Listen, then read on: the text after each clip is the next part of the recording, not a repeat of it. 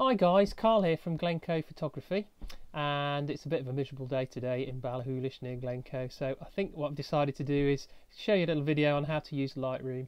So in this YouTube video I'm going to show you how to use Lightroom in 5 minutes.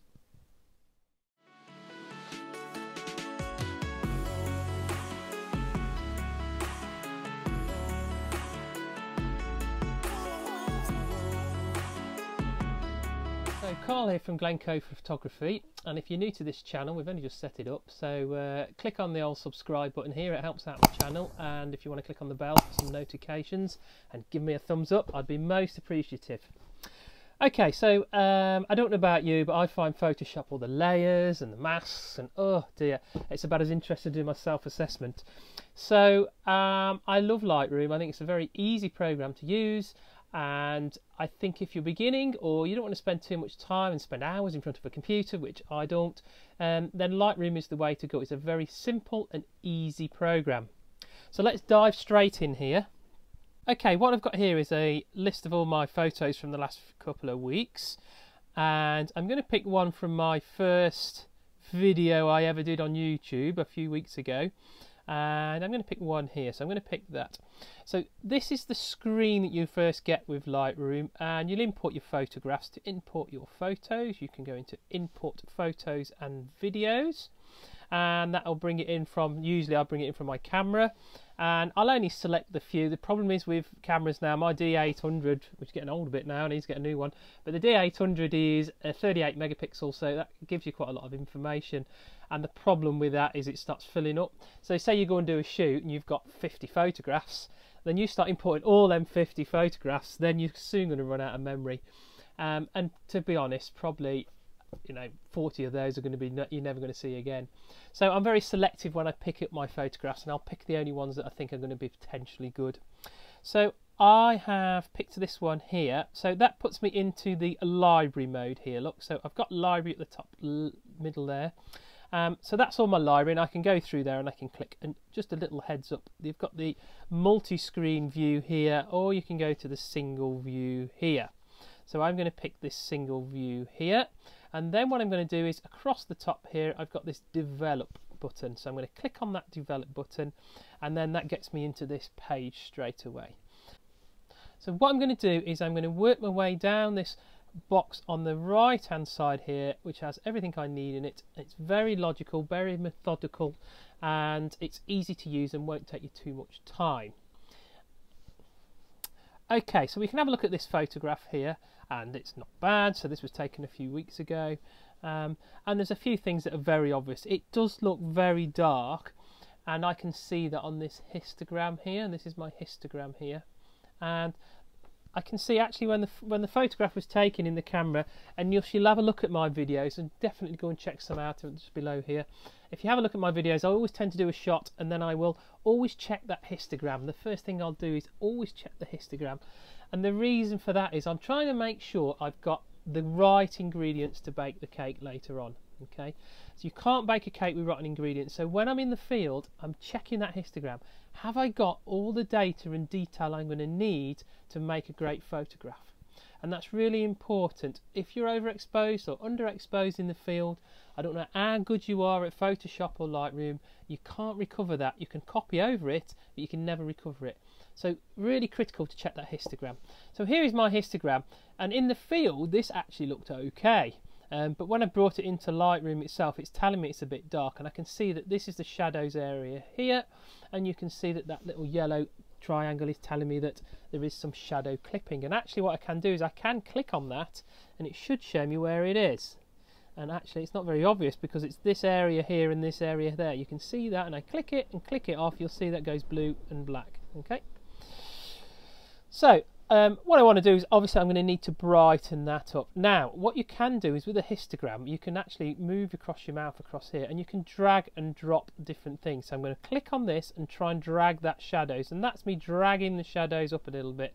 And actually what you can see then is in the little slider at the bottom, what it's also done is it's moved the blacks up. Okay. So now my little triangle's go, gone and now it's telling me that this is correctly exposed. Well, it's not underexposed. I wouldn't say it's correctly exposed, it's not underexposed. So what I'm going to do is I can actually move this in the middle and I'm going to drag up to the middle there. Look, and I can drag it up even better. And that gives me, you can see now my exposure to the level has also increased a little bit. So that's a bit of a shortcut on the histogram. You can move, drag and drop um, the different areas of the histogram. Okay, so I'm not going to talk about these little options just now because I'm going to come back to those because what I want to try and do is is get the exposure and the texture and the colours right and then I'll come back and doing all these little things at the top here this is special sort of shortcut. So I've been asked how I know how to edit my photographs and what works um, and it's a very much a personal judgment. And the good thing is with Lightroom is is it's a simple case of quite frankly moving the slider see if it looks better. If it does keep it there if it doesn't move it back and that's a simple rule of Lightroom it's so easy um, so this is my white balance here and you can see I can change that white balance. I can change the tint. To be honest, I don't like the tint at all. It's too, it's too dramatic and it's too very obvious. I hate the tint. So I'm going to lose, I never use the tint at all. Okay, good. Get that back to zero-ish, something like that. Okay, so now I've got down this tone area and I've got my exposure, brighter, darker, obviously, and the contrast. Um, and then I've got all these different options down here. Now, so what I will do with this photograph, first things first, is I can see I've got the filter on here. Can you see this top left here and there's a little bit around the top bottoms here and there's a little bit here as well. So I kind of need to get rid of that because it's irritating me and I can keep seeing it. So I am going to come to this top button here and I'm going to go onto the crop tool and I'm just going to drag that down a little bit, just bring it out of the way a bit and then just drag it around so it looks about right. And then if I press the enter button, bang, it's gone and there it is. So I've lost that my extra um, cropping with the filter. Okay, I think then I'm going to try and make some of these colours look a little bit better. So, I my favourite tool here, you've got all these highlights and shadows. Um, because I've done it in here, actually it's not too bad. Maybe bring the blacks, uh, the shadows up a little bit here. So there's the shadows coming up a little bit. Okay, so that brings me a big difference. And then you've got all these sort of different presencing. So these textures um, softens it and then harshes it. I don't really use that too much to be honest. Um, I love clarity so I'll give it a little bit of clarity. Look at the difference in that. The clarity off and then a bit of clarity. Just sharpens everything up gives it that nice look. Um, and now uh, the new dehaze button in Lightroom it's my favorite slider. So watch this little beauty. Up and bang look at that. And you've put some real drama in the shot now just by sliding that slider up. So I'm really happy with that. What you can see though is back into the histogram, you can see that the little white thing has gone on there, and you can see that when I click that, click it, these have gone all blue, and that's telling me that is all underexposed. So I am going to just move back up and bring my shadows up a little bit further. Maybe have to bring up the exposure a tad. So here we go. Okay, lovely. I like that very much.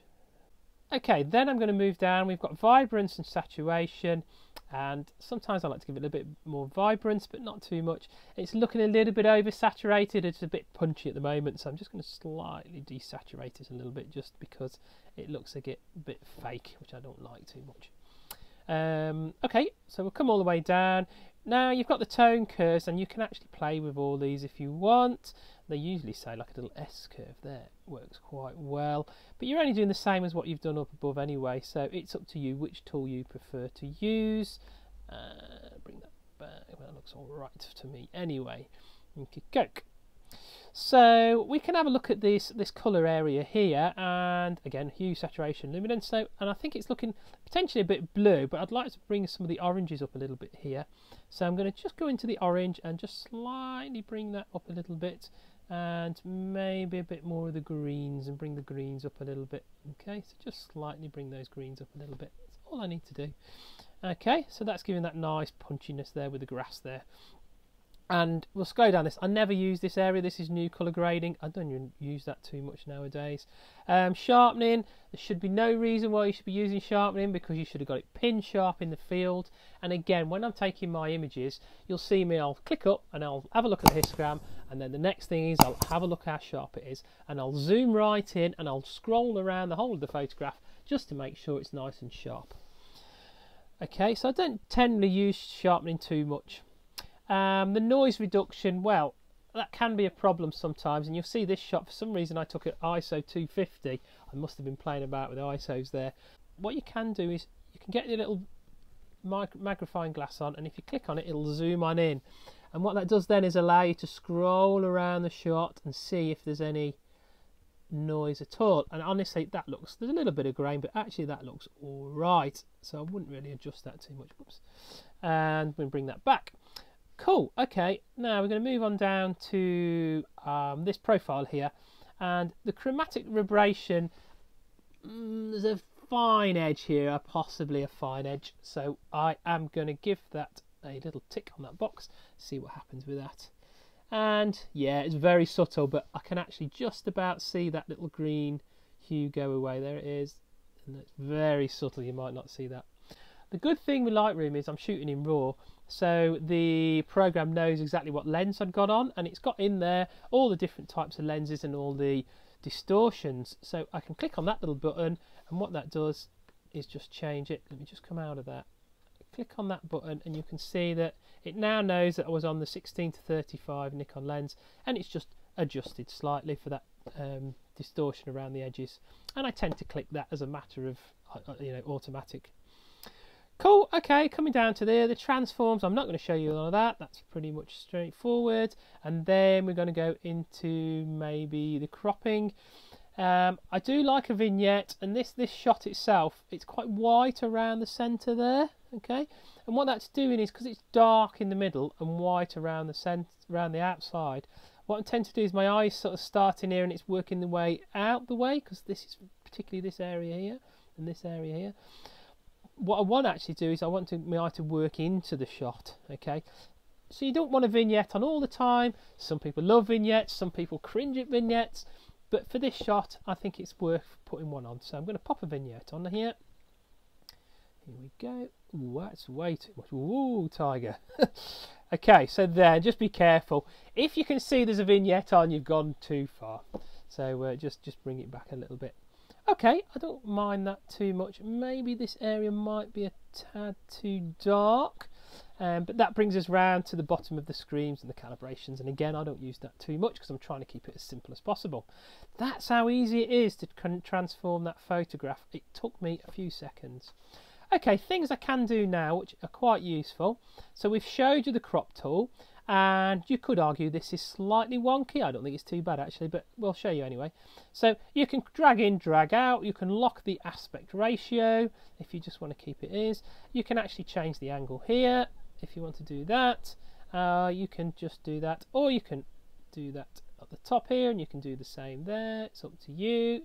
Um, and the good thing is with this is you can either escape out of it or you can press Command Z if you're on the Apple and that will suck you back out. Was it does look a little bit wonky there, doesn't it? So let's have a look at that. Let's do that one again. I've obviously moved it. So we'll put it back to zero. There you go. Okay, good. Now, the next thing we can do then is this here is a little spot removal tool and that is actually quite useful if you've got any spotting on the lens. Now I can't see anything. I've obviously got a nice clean sensor this time, but I did notice a couple of shots a couple of days ago I had a, a bit of a spot on there.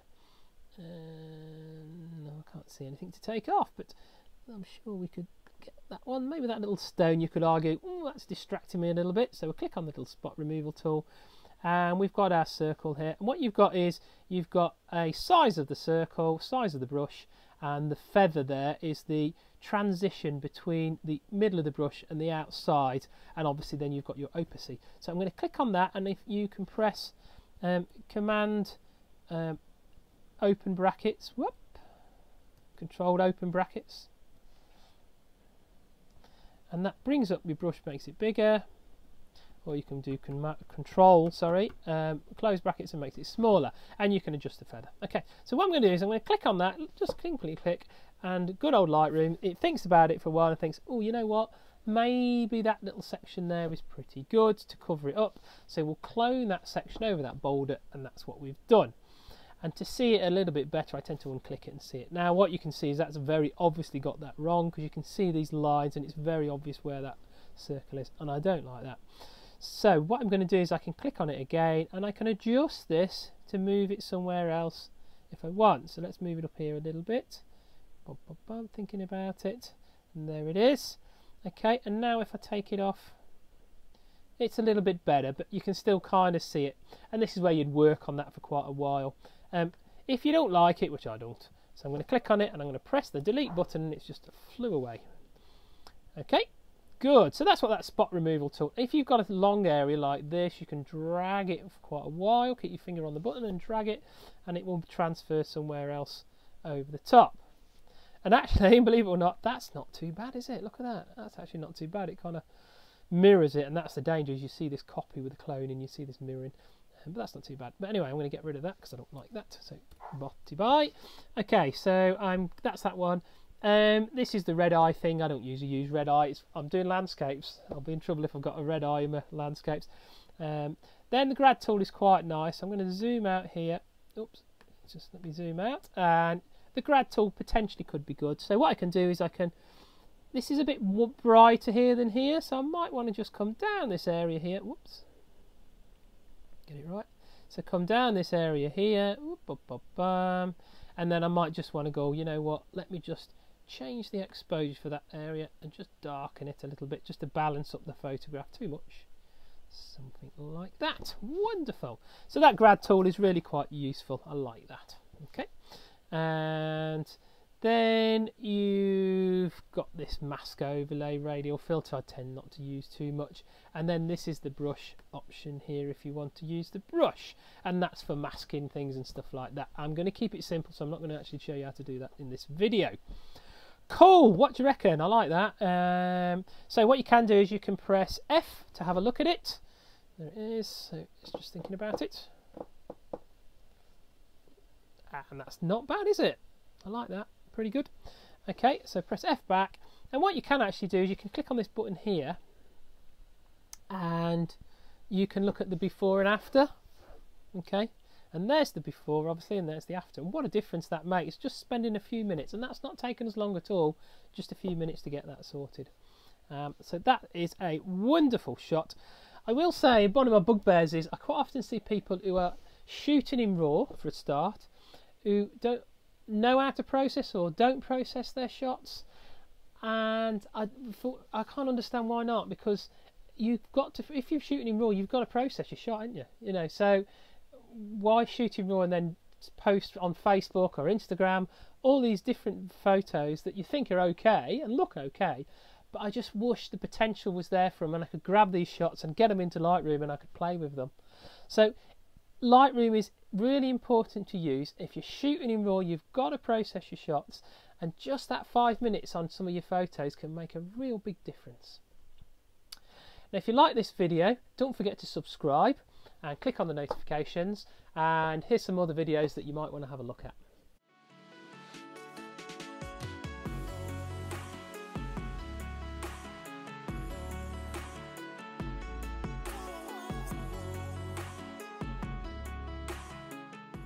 I'm trying to think who I look like here. I can't put my finger on it. Ah, uh, got it.